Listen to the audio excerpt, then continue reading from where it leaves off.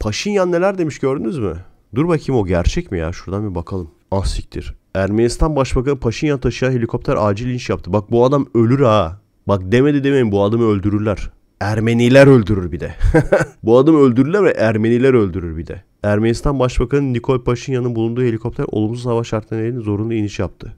Valla bu adam ölürse şaşırmayın arkadaşlar. Kazadan kıl payı kurtuldu. Ulan bir gün içinde olmuş bu bir de. Bak Ermenistan lideri Paşinyan'ın son dönemde Türkiye ve bölge politikalarına ilişkin uzlaşmacı tondaki açıklamalar Erivan'ın rotayı Türkiye'ye çevirerek iki ülke arasında normalleşme arayışına olduğu yönünde yorumlanıyor demiş. Dur bakayım açıklamalarına bakalım. Türkiye ile arasında Batı Ermenistan toprakları sorun olduğunu il- ilan etmiş demiş. Daha daha şey Paşinyan değil bu başkası. Heh şey Ermenistan yapmış. Bak şimdi Paşinyan açıklamaları. Karabağ'ı aldığımızda meclisi bastı halk evet. Bu adam bak öldürürler ha ciddi. Birçok kişinin Ermenistan'da birçok kişinin e, söylediğine ters yapıyor çünkü. Bak şimdi abi. Paşinyan diyor bunu. Ermenistan Başbakanı. Eskiden yaptığımız gibi haritaları açarak büyük Ermenistan hayali kurmayı bırakıp gerçekçi bir politikaya geçmeye ihtiyacımız var. Erivan'dan her sabah Ağrı Dağı'na bakarak hayaller kurmaya devam edersek günün birinde Erivan'da elden gider. Dünyanın en doğru lafı bu. Ben bu adamları söyleyip duruyordum ama bunu işte Ermenistan Ermenici lobisi diyelim. Bazı Ermenici lobisi abi şu lafları hoşlarına gitmiyor. İnsanları sürekli hayal gördürtüp büyük Ermenistan hayalleri kurturtup şurası da bizim burası da bizim burası bizimdi geri verin gibi salak salak hayallerin peşine koşturtup bazı insanlar işte bundan nemalanıyor. Bazı gruplar. Ermenistan ülkesi de bundan nemalanmaz. Hiçbir böyle yalandan milleti e, bir yalanın peşinden koşturtan lobilerin o işte peşinde koşan insanlar bundan faydalanmaz.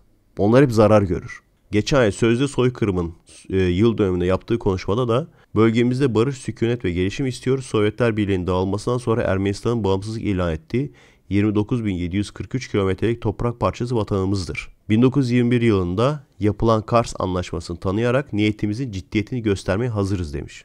24 Nisan'daki konuşmasının devamında biz bugün hala dünyaya ve kendimize soykırımın prizmasından bakıyoruz. Bu yüzden çoğu zaman günümüz gerçeklerini göremiyor ve hatalar yapabiliyoruz demiş. Mesela ben Türkiye'nin ülkenin başında olsam şu açıklamaların üzerine hemen yakalarım bu adamı. Hemen yakalarım ve ondan sonra da şunu söylerim. Bak e, bazı işte Ermenistan'daki şeyler ekstrem ekstremistler, ırkçılar bu adama karşı gerçekten öyle bu arada. Bu adama karşı o insanlar barış istemiyor. Biz Türkiye olarak Paşinyan'ın yanındayız. Bunu açık açık söylüyorsun. Ve biz barış istiyoruz. Barış isteyen Paşinyan'ın yanındayız. İşte Türkiye, Ermenistan, Azerbaycan vesaire bunun aralarında barış isteyen Paşinyan yanındayız. Şimdi bu şu anlama gelmez arkadaşlar. Sen bunu %100 dostlusun. Çünkü sana ters de konuşabilir. Bunlar bak güzel stratejiler. Sana ters de konuşabilir. Önemli değil. Ama bunu dedi ya. Hemen sen gideceksin. Tamam biz bu adamın dostuyuz. Ondan sonra çok büyük ihtimal tabii Türkiye'nin içine sana böyle şey diyenler olacak. Tamam mı? İşte o Ermeni köpeği falan diyenler olacak. Ermenistan'ın adamı oldu falan diyenler olacak. Onun üzerine bir daha açıklama yapacaksın. Diyeceksin ki işte Türkiye'deki ırkçılar neyse işte veya işte Ermenistan'daki ırkçılar neyse Türkiye'deki ırkçılar da öyledir. Bunlar barış istemiyorlar. Biz bunlara karşıyız. Biz barış istiyoruz falan. Bunu diyeceksin. Böyle insanları kafalayacaksın. O ülkeyi alacaksın barış. O ülkeyi alacaksın barış. Azerbaycan alacaksın barış. Komşularla en azından ne derler? Ee, iyi geçinmek. Aranın iyi olması.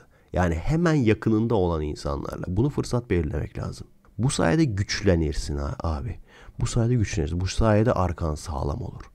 Liderlik budur. Lider olmak budur arkadaşlar. Güçlü olmak budur yani. Evet senin mesela daha önce sorun yaşadığın insanlar olabilir.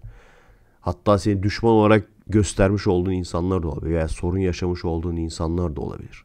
Veya dini olarak sana ters gelmesi gereken insanlar olabilir. Bulundukları kurumlardan dolayı sana ters gelmesi gereken insanlar olabilir. Ancak sen orta noktayı bir şekilde bulabilirsen, empati yapabilirsen, yani empati yapmak şu. Ben mesela Paşinyan. Ben bununla farklı gör görüşteyim. Mesela Paşinyan soykırım diyor bilmem ne ben demiyorum. Paşinyan şunu diyor ben demiyorum falan filan ama empati yapıyorum. O adam bunları diyor çünkü böyle bir yerde doğmuş. O yüzden agree to disagree. Bazı konularda agree to disagree. Yani o konularda uyuşamadığımızı karşılıklı olarak kabulleniyoruz. Ve uyuşabildiğimiz konuların üzerinden yürüyoruz. Böyle güçlü olunur, böyle lider olunur arkadaşlar. Lider olmak 101. Barış İlteriş İlhan. Ermenistan o kadar fakir ki binlerce Ermenistan vatandaşı Türkiye'de hala kaçak yaşıyor. Paşinyan doğru söylemiş demiş. Heh şimdi adamların mesela senin ekonomi güçlü olacak tabii. Ekonomin olacak. Sana hiçbir işe yaramayan, sana hiçbir fayda sağlamayan salak salak insanları böyle saçma sapan faydasız insanları beslemek yerine ekonomin güçlü olacak abi. Ve mesela Ermenistan'la olay bu bak. Laf ayrı bir şey. Lafta barış yapmak ayrı bir şey. Lafta herkes barış yapar. Yani en böyle düşman Ermenistan düşman olduğumuz zaman da bile işte Erdoğan gidiyordu el sıkışıyorlardı gene. Onu herkes yapar. Ama şimdi bu adamların ekonomisi kötü mü? Bizim iyi mi? Biz bunlarla bir ekonomi anlaşması yapacağız. Atatürk ne demişti? Güçlü ülkeyle zayıf ülke anlaşma yaptığı zaman bu güçlü ülkenin menfaatinedir. Nasıl bir ekonomi anlaşması yapacağız mesela? Biz bunlara atıyorum mesela sallıyorum şu anda. Ucuza mal satacağız. Ama biz de kâra geçeceğiz. Onlar diyecek ki biz başkasından şu malı başkasına alıyorduk. Türkiye'den daha ucuza alacağız. Ne güzel. Biz de kâra geçiyoruz diyecek.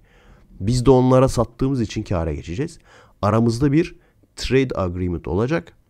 Ortak bir yaptığımız bir iş olacak yani.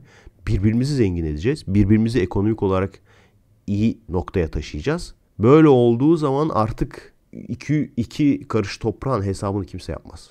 Anca bazı radikaller çıkar da işte o topraklar bizimdi bilmem neydi geri verin top... Salak salak anca bir, bir grup insan konuşur. Ama çoğunluk bunlar artık radikal gözüyle bakar. Ve bu şekilde şey anlaşması mesela. Ortak bir anlaşma. Şu an aklıma o geldi. Diğer ülkelerle de öyle. Bugün mesela, bugün biz İsrail'e yaptırım niye uygulayamıyoruz? Hadi söyleyin, hadi söyleyin biz İsrail'e neden yaptırım uygulayamıyoruz? Bizim tepemizdeki adamlar o kadar çok para kazanıyor ki çünkü İsrail'den. O yüzden. Biz mesela kedici hocaların İsrail'le olan bağlantılarını biz çok iyi biliyorduk. Ama çok ilginç bir şekilde bunlar şey diyordu yani adamların gimiki belki mason lobisine karşı yok İsrail bilmem ne lobisine karşı mücadeleydi. Adamların şeyi bile evlerinin dekorları bile stüdyoların dekorları bile İsrail diye bağırıyordu yani. Adamların stüdyolarının dekorları bile çok aşırı çirkin dekorları vardı ya. Onlar bile böyle şey gibi ne o? Yani dışarıdan gelme gibiydi böyle. E bunların toplantılarını gittiğin zaman İsrail'den bir sürü adam geliyormuş. Neyse abi. Sonuç itibariyle bu sebepten dolayı İsrail'e biz yaptırım yapamıyoruz. Çünkü başımızdaki abilerin çok zengin oluyor İsrail sayesinde. İsrail'in çok parası var. Amerika bunları sürekli para veriyor. Kendi paraları da var. JESAP oyun normalde içinden geçmemiz lazımdı. Toprak ve su verimliliği açısından. Biz arkadaşlar içinde doğduğumuz için bazı şeylerin farkında değiliz. Mesela Ekşi'de e, şey yazmışlardı.